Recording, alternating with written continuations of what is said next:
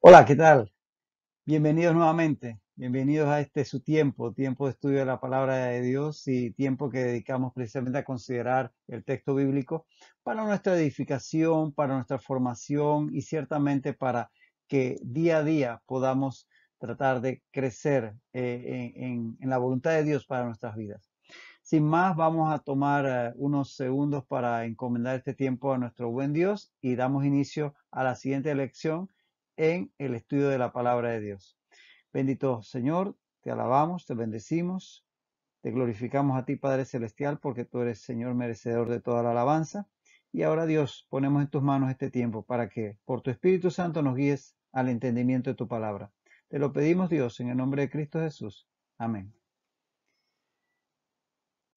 Estamos hoy iniciando un nuevo eh, texto en el capítulo 17 de, Mateo. Vamos específicamente a considerar a partir de hoy el versículo 14 al 21 y vamos a, dar lectura al mismo. Pero antes de todo, anota los eh, pasajes paralelos que también encierran este eh, evento. Están en Marcos 9, 14 al 29, Marcos 9, 14 al 29 y Lucas 9, 37 al 43. Lucas 9, 37 al 43. Son los textos paralelos a Mateo 17, 14 al 21 que es el que vamos a leer en esta ocasión. Dice así, cuando llegaron al gentío, vino a él un hombre que se arrodilló delante de él diciendo, Señor, ten misericordia de mi hijo, que es lunático y padece muchísimo, porque muchas veces cae en el fuego y muchas en el agua. Y lo he traído a tus discípulos, pero no le han podido sanar. Respondiendo Jesús dijo, Oh generación incrédula y perversa, ¿hasta cuándo he de estar con vosotros? ¿Hasta cuándo os he de soportar? Traédmelo acá. Y reprendió Jesús al demonio, el cual salió del muchacho, y éste quedó sano desde aquella hora. Viniendo entonces los discípulos a Jesús aparte, dijeron, ¿por qué nosotros no pudimos echarlo fuera? Jesús les dijo, por vuestra poca fe, porque de cierto os digo que si tuvierais fe como un grano de mostaza, diréis a este monte, pásate de aquí allá y se pasará, y nada os será imposible. Pero este género no sale sino con oración y ayuno. Aquí tenemos el texto que viene a renglón seguido de lo que estuvimos considerando eh, hasta la sesión pasada, que fue todo aquel texto, todo este, aquel pasaje del de, monte de la transfiguración, y ya en la, en la lección pasada vimos lo que ocurrió cuando el Jesús descendía con los tres discípulos que le acompañaron, Pedro, Juan y Jacobo, y llegan entonces a la parte baja donde encuentran una multitud. Aquí es donde nos encontramos el día de hoy y vamos a entrar en la consideración de este pasaje. Antes que, que entremos precisamente en el texto, quería mostrarles esta pintura porque tiene tiene una ah, connotación interesante en lo que vamos a, considerar. Esta obra es obra del pintor renacentista Rafael, Rafael Sanzio, pintor italiano, eh, muy reconocido, y se llama precisamente La Transfiguración. Lo interesante es que Rafael, obviando las distancias físicas y cronológicas, pone en este cuadro las dos, los dos eventos, lo de la transfiguración y lo de el muchacho lunático en un solo cuadro. Este es un cuadro que en realidad Rafael eh, lo comenzó a pintar, pero muere mientras lo está eh, pintando. Eh, Rafael murió a los 37 años, bastante joven, y un discípulo de él, Juliano Romano o Julio Romano, es quien lo termina de pintar y actualmente se puede ver en, los museos vaticanos en Roma. El cuadro tiene más de 4 metros, 4 metros con 7 centímetros de, alto y de ancho tiene 2 eh, metros con 78 centímetros, es bastante grande. Eh, Y ciertamente, eh, como decíamos, eh, Rafael intenta, su idea original era poner los dos eventos en anteposición. Y, aquí vemos cómo definitivamente se contrastan los dos eventos. Podemos ver, por ejemplo, que en la parte de arriba vemos luz, mientras que en la parte de abajo vemos sombras. En la parte superior vemos un Cristo glorificado, hay gloria mientras la parte inferior, vergüenza, la vergüenza de los discípulos con sus caras de asombro. Estos son los nueve eh, apóstoles que quedaron en la base del monte mientras Jesús subió con los otros tres, que no pueden sanar al, niño y quedan avergonzados ante la multitud que, como ve aquí, les reclama. En la parte superior hay armonía. En la parte inferior hay confusión, unos gritan, otros desesperados, el padre pide por su hijo, el hijo convulsiona, en verdad que hay confusión. En la parte superior, el Padre exalta al Hijo. En la parte inferior, el Padre terrenal ruega por su Hijo. Entonces, es interesante los contrastes que se ven en, esta eh, imagen pintada por Rafael con mucha ingenio, con mucha imaginación, donde antepone una con el otro. Porque es que realmente, si uno eh, analiza estos dos pasajes, el pasaje de la transfiguración y el que sigue renglón seguido, hay un contraste ciertamente entre lo que tenemos en el primer evento de la transfiguración y lo que tenemos a, continuación en el caso del niño eh, lunático. Y no es casualidad que ambos eventos estén uno a continuación del otro en los tres evangelios sinópticos, Marcos, Lucas y Juan. Eh, perdón, Mateo, Marcos y Lucas. Ya no fuimos de largo. Mateo, Marcos y Lucas. En Mateo, Marcos y Lucas aparecen los tres eventos, los dos eventos, la transfiguración y eh, el, evento del niño, el del muchacho eh, eh, enfermo que no es sanado por los discípulos, a continuación del otro. Y asumimos que ciertamente esto cronológicamente debió haber ocurrido así porque los tres sinópticos lo, lo, lo, ponen. Pero también nos permite ver en el texto un contraste entre los dos eventos. Porque en, el primer caso, como bien lo, lo pinta Rafael, está el modelo divino el orden, eh, glorificación, eh, paz, armonía, mientras que acá está el orden humano, eh, confusión, vergüenza, sombras, todo lo que el ser humano ha conseguido alejado de Dios. Entonces hay como una anteposición del modelo divino versus el modelo humano. Dios quiere para nosotros lo perfecto. Así nos hizo originalmente. El hombre falló, el hombre se apartó de Dios y entonces tiene que lidiar con las enfermedades, con los fracasos,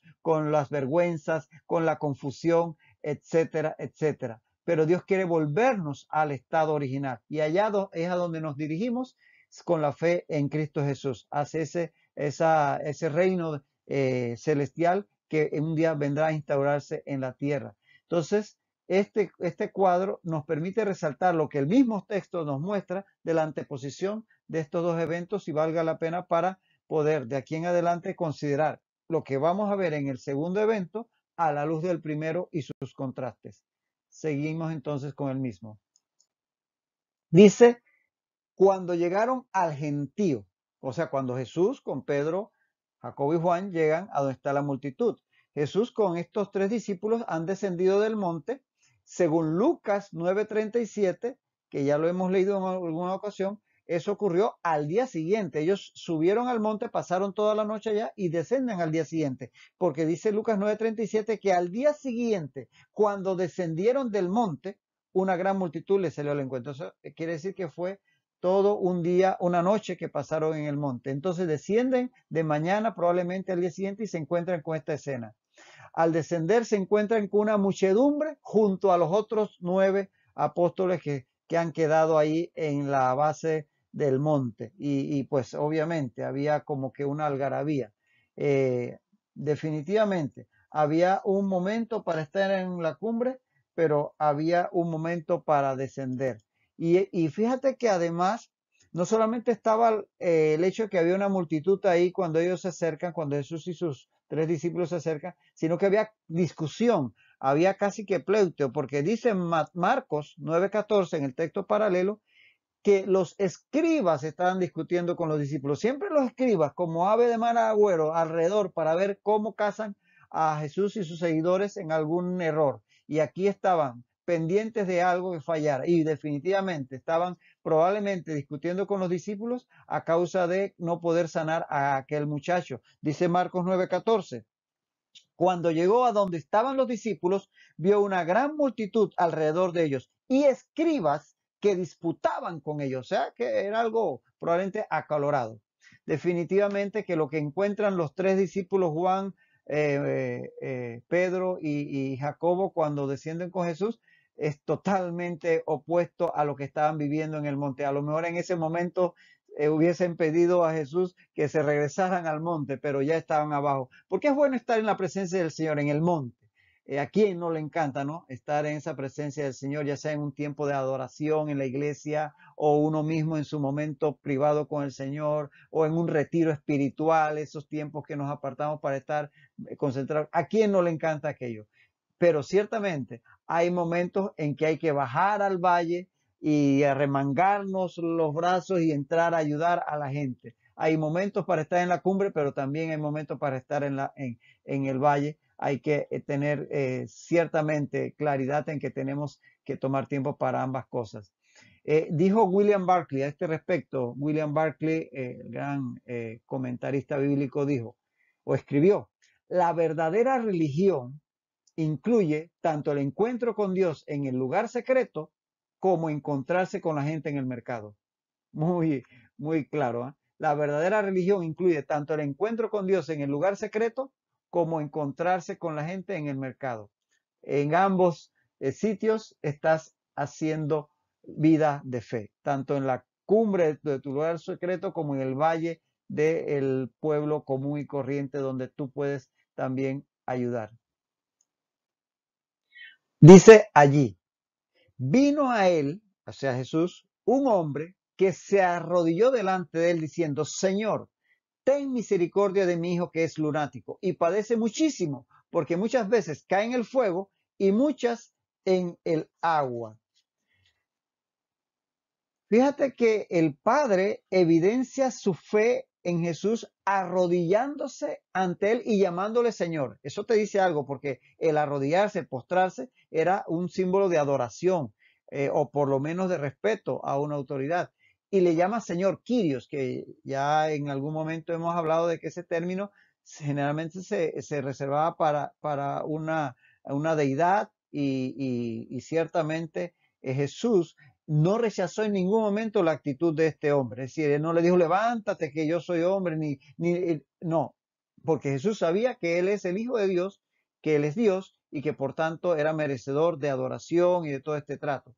Pero habla esta también, esta actitud, de la fe incipiente que había en este hombre, al menos. Y dice más, aquí vemos que él, él le pide a Jesús por mi hijo. O sea, no pide por él mismo, pide por su hijo. Muy interesante que, eh, que esa misericordia que el padre pide por su hijo contrasta, por ejemplo, con el de la mujer cananea, la mujer sirofenicia, que vemos en Mateo 12, 22, en donde ella pedía misericordia por ella misma, a pesar de que estaba pidiendo por su hija enferma. En Mateo 15, eh, 22 dice, ten misericordia de mí, decía la mujer allá en la región de Tiro y Sidón. Entonces, eh, ahí hay un, contraste interesante de notar. Pero es que eh, los sufrimientos de nuestros hijos nos duelen mucho más que los, los nuestros propios. Quien es padre, quien es madre, quien ha sido padre, ha sido madre, puede corroborar esta afirmación. Cuando un hijo enferma, cuando un hijo sufre, cuando un hijo tiene un problema, eh, así sea una situación económica, emocional, de salud, de verdad, de verdad que los padres lo sufrimos más que ellos. Eh, y, por eso vemos en los ejemplos bíblicos de cómo los padres que se acercaban a Jesús para pedir por sus hijos hacían de ese problema un problema propio, o por lo menos intercedían delante de Jesús por, no por ellos, sino por sus hijos. Eh, ahora bien, es justo es decir que dependiendo de la actitud del padre o de la madre, cuando un hijo está sufriendo, algunos se acercan más a Dios, pero a otros esa situación los aleja más de Dios. Y todo depende de la reacción del corazón, porque dice un dicho por ahí que el mismo sol que ablanda la cera endurece el barro. Entonces el problema no es del sol, el problema es de qué está hecho, de qué material está hecha la persona, el corazón de la persona. Porque esos grandes problemas que sufrimos a causa de nuestros hijos, para algunos ha sido la motivación para acercarse más a Dios, pero a otros terminan rechazando, diciendo Dios no existe o Dios es malo, mira cómo hizo sufrir a mi hijo. Y al final es la actitud del corazón la que determina que nos acerquemos o nos alejemos de Dios. Todo depende de lo que haya en nuestro corazón. Pero ciertamente los eh, sufrimientos de nuestros hijos son de los más difíciles que podemos enfrentar en nuestro día a día.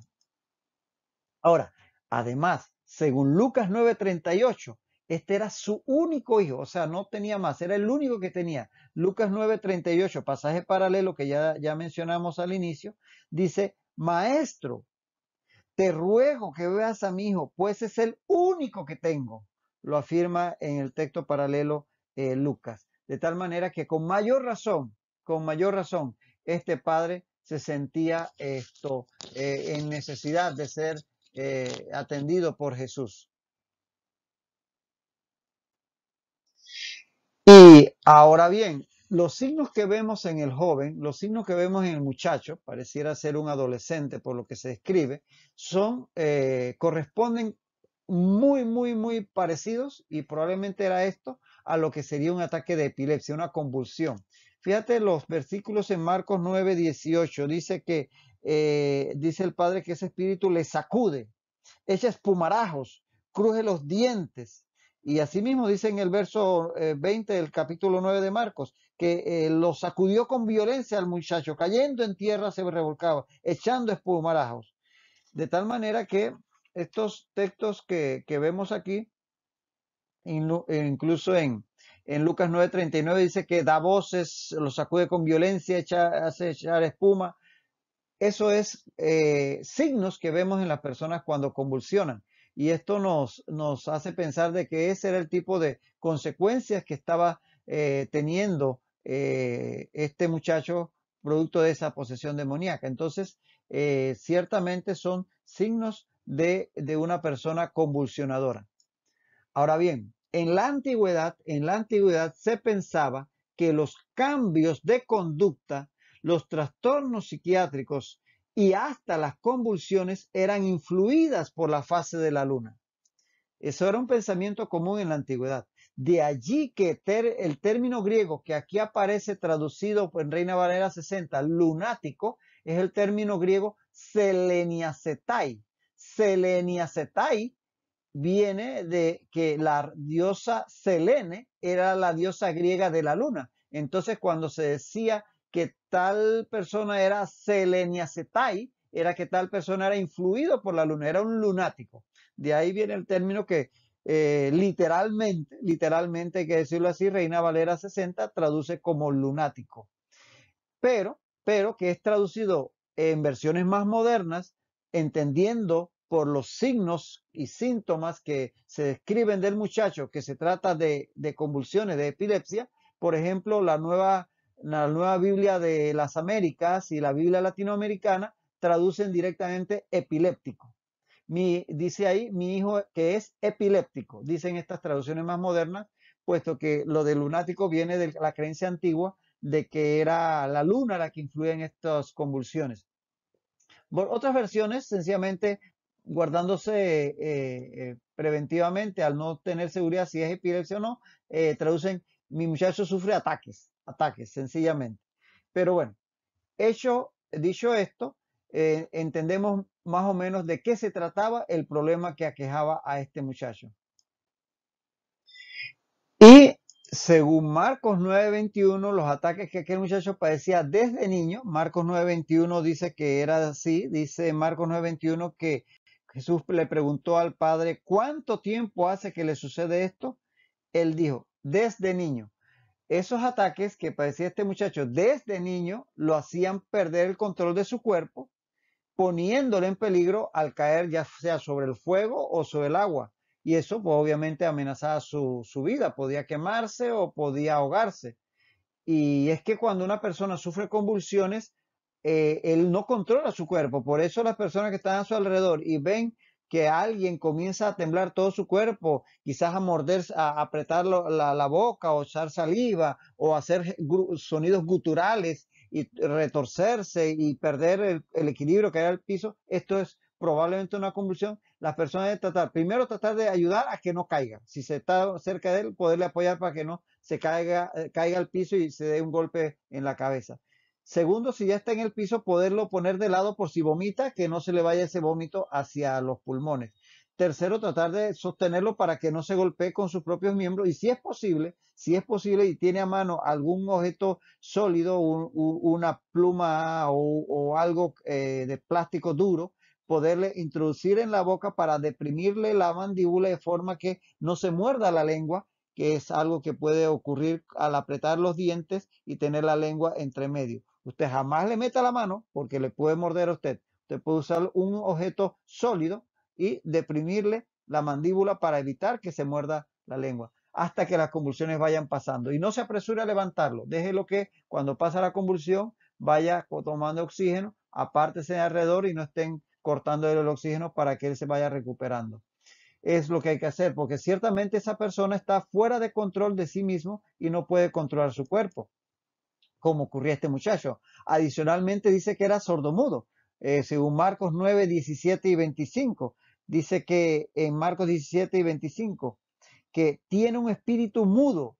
Y en el 25 dice Jesús, que le ordena al espíritu que salga, dice espíritu mudo y sordo, de tal manera que era un, muchacho que además tenía este padecimiento de sordera que le había impedido aprender a hablar. Y por otro lado, el padre entendía que todo era causado por un espíritu que tomaba posesión del hijo como vemos en Marcos, precisamente en Marcos 9, 17 al 18, que dice, trae a ti mi hijo que tiene un espíritu mudo, ¿lo ve? El propio Padre dice, que le toma, le sacude y dije a tus discípulos que le echen fuera. O sea, el Padre entendía que había un, elemento espiritual detrás de aquello. Y en Lucas 9, 39 al 40 también reitera eh, este, esta afirmación. Dice, un espíritu le toma le sacude con violencia y le echa, le hace echar espuma, estropeándole a duras penas, se aparta de él y ruega a tus discípulos que le echasen fuera. O sea que el padre entendía que el, problema era espiritual. Y lo he traído a tus discípulos, dice el padre, pero no le han podido sanar. El padre vino inicialmente en busca de Jesús, seguramente habiendo oído de, sus milagros, porque leemos en Marcos 9, 17 que traje a ti mi hijo que tiene un espíritu mudo. O sea, él le trajo a Jesús, pero ¿qué resulta? Que no estaba Jesús allí. Sencillamente cuando ellos, cuando él llegó, Jesús había subido a la cumbre, estaban solamente sus otros discípulos. Entonces, al encontrar solo a los discípulos, a los nueve que quedaron en la, en la base del monte, les pidió a ellos que sanasen a su hijo, pero no pudieron. Lo dice ahí el 9.17, eh, que traje a ti mi hijo que tiene espíritu mudo. Y en el verso 18 de, de Marcos 9 dice, y dije a tus discípulos que lo echasen fuera. O sea que ciertamente él le pidió a los discípulos que lo hicieran. Y eso es lo que vemos aquí, la escena en donde el Padre está pidiéndole a los discípulos que hagan el milagro. Ahora, el resultado de que los discípulos no pudieran echar fuera aquel espíritu, definitivamente que debió haber causado desesperación y hasta poner a dudar la fe eh, del Padre. En Marcos 9:22, por ejemplo, en Marcos 9:22 leemos que cuando Jesús, eh, cuando el Padre se acerca a Jesús, le dice, si puedes hacer algo, ten misericordia de nosotros y ayúdanos. O sea, porque ya, ya habían fallado los discípulos, ahora él, ahora viene a Jesús, pero como quien dice, a ver si, si puedes. Quizás en un principio vino con plena certidumbre, pero ahora al ver que los discípulos no pudieron, ahora dice, a ver si tú puedes hacer algo. Y, e incluso en el 24 dice, cuando Jesús ya lo confronta, creo, pero dice, ayuda mi incredulidad, porque él mismo reconocía que algo de incredulidad se había impregnado en su corazón al ver que los discípulos habían fallado. Entonces, esas son las consecuencias lamentables cuando las personas no ven ocurrir un milagro, comienzan a, a, la, la fe comienza a tambalearse. Y también puede esto haber generado frustración en los discípulos, porque dice en Mateo 17, 19, viendo entonces los discípulos, viniendo, viniendo entonces los discípulos a Jesús aparte, dijeron, ¿por qué nosotros no pudimos echarlo fuera? Probablemente comenzó a, surgir en ellos inquietud, desesperación o frustración por no haber logrado eh, que, que el Espíritu aquel les obedeciera. Porque también en el creyente cuando ora por alguien o por algo y no ve resultado, también puede surgir frustración y hasta puede que también su fe comience a tambalearse, porque a veces no entendemos que ciertamente Dios sí tiene poder, pero que en algún momento no es el tiempo o en algún momento no es la voluntad de Dios o que en algún momento nosotros mismos hemos cometido un error. Pero ciertamente ese tipo de fallos o, falta de, ver respuestas nos puede afectar en nuestra fe. Cuidémonos de esos momentos. Pero también puede haber causado burla de parte de los enemigos de la fe. Porque fíjate que los escribas que estaban alrededor, en Marcos 9, 14, dice que cuando llegó Jesús a donde estaban los discípulos, vio una gran multitud alrededor de ellos y escribas que disputaban con ellos. ¿Qué estarían disputando? Seguramente que ustedes son unos falsos predicadores que andan diciendo que hacen milagros y mira que no han podido hacer nada con este muchacho enfermo. Lo más probable, ¿no? Porque los enemigos de la fe solamente están esperando un pequeño fallo o aparente fallo para enseguida caer. ¿Viste? Te lo dije que era un falso, etcétera, etcétera. Todo esto puede haber resultado de ese aparente fallo o fallo en sí de los discípulos en poder expulsar aquel, aquel espíritu.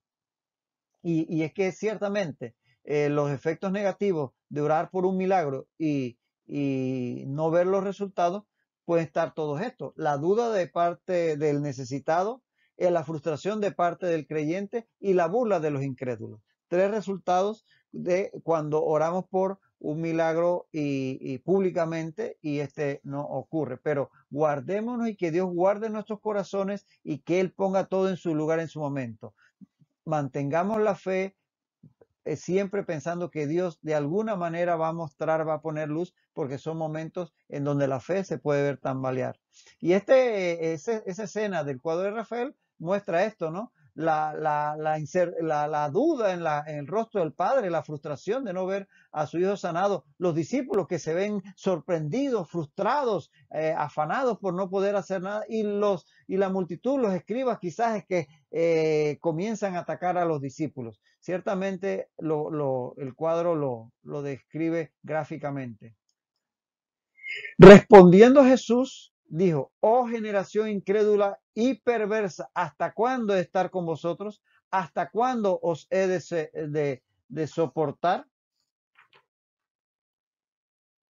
Aquí Jesús estaba refiriendo a toda aquella generación de judíos que habían presenciado todas las señales hechas por él como Mesías. Tantas personas que habían visto tantos milagros de tanto poder y que ciertamente no habían podido eh, eh, muchas veces eh, aceptarle a pesar de, tanta, de tantas cosas. Así que que pidieran más milagros y más obras. ¿Hasta cuándo? Y quizás en este momento Jesús les estaba planteando esa, eh, esa situación de que ciertamente él había hecho suficientes señales como para que reconocieran en el Mesías. Y, esto incluía a los escribas, a la multitud de curiosos, incluso a los discípulos que estaban en este momento eh, expuestos al fallo por falta de fe, incluso al padre del muchacho. Todos ellos en ese momento podrían estar ya reclamando que era falso, que Jesús y sus discípulos no sanaban. Y aquí, obviamente, la reconvención del Señor no era igual para todos. Probablemente a los, a los escribas y alguna parte de la multitud le tocaba un poquito más, pero ciertamente a todos Jesús se dirige diciéndole, ¿hasta cuándo voy a estar con ustedes haciéndole tantas y tantas señales para que crean que yo soy el Hijo de Dios? Vamos a detenernos justamente en este punto y ahí vamos a retomar el texto la próxima, la próxima vez. No pierdas el hilo, toma nota del pasaje dedícale tu tiempo personal en los próximos días y que el Espíritu Santo nos guíe a cómo enfrentar estos momentos donde pareciera que la fe falla, donde pareciera que eh, nuestra fe eh, se choca contra una pared. El Señor siempre tiene la última palabra y Él nos ayuda a salir victoriosos y a salir adelante. Hasta esa próxima ocasión, que el Señor te siga bendiciendo ricamente.